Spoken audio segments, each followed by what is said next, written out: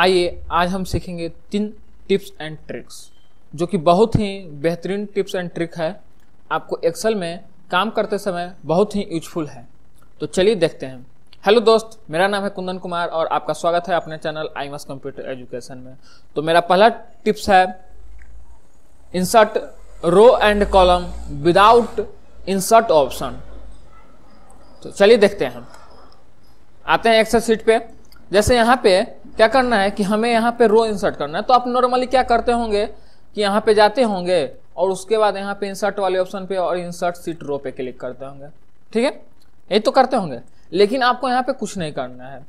आपको यहाँ पे इसको, इस पूरे रो को सेलेक्ट करना है और शिफ्ट को प्रेस करना है। होल्ड करके रखना है।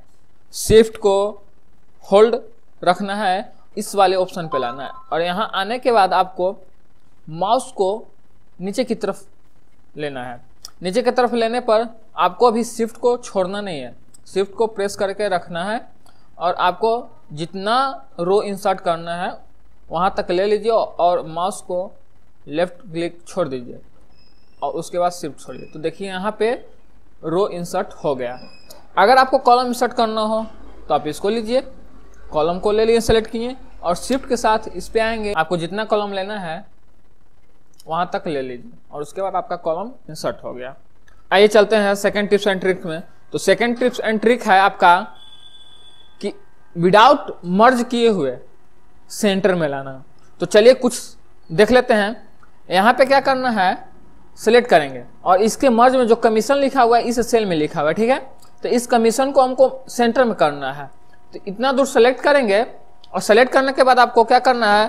कंट्रोल प्लस वन प्रेस करना। उसके बाद आपको आना है एलिगमेंट में और यहाँ पे हॉरिजेंटल वाले सेक्शन पे आपको इसके नीचे दिखेगा आपको सेंटर अक्रॉस सिलेक्शन उसके बाद यहाँ से ओके कर देंगे। तो देखिए आ गए कमीशन बीच में। बाकी सब सेल अलग अलग है विदाउट मर्जिंग का। दिख रहा है? ठीक है। तो चलिए आइए थर्ड टिप्स एंड ट्रिक देखते हैं। थर्ड टिप्स एंड ट्रिक क्या है? यहाँ पे आपको जब आपके पास बहुत बड़ा डाटा रहता है तो आप क्या करते हैं? जैसे ऊपर ले जा रहे हैं तो तो पता नहीं चल रहा है कि सीरियल नंबर है या नेम है या अमाउंट है क्या। बहुत सारा अगर आपके पास और भी लॉन्ग डाटा रहे तो दिखेगा नहीं। आपको सिर्फ़ कंट्रोल के साथ टी प्रेस करना है, और टी प्रेस करने के बाद इसको इस पर टिक लगा हुआ रहने देना है। उसके बाद ओके करना है। जब भी आप देखिएगा, इसको कीजिएगा तो देखिए serial number name sale amount commission अगर आपके यहाँ से फ़िल्टर को हटाना है तो फ़िल्टर को हटाने के लिए कीबोर्ड से प्रेस कीजिए कंट्रोल शिफ्ट एल तो देखिए फ़िल्टर हट जाएगा, लेकिन ऊपर देखिए serial name name sale amount commission दिखा रहा है। तो है ना बेहतरीन? अगर मेरा टिप्स एंड ट्रिक अच्छा लगे तो वीडियो को लाइक और शेयर ज़रूर कीजिएगा और हमारे चैनल को सब्सक्राइब ज़रूर करें। धन्यवाद।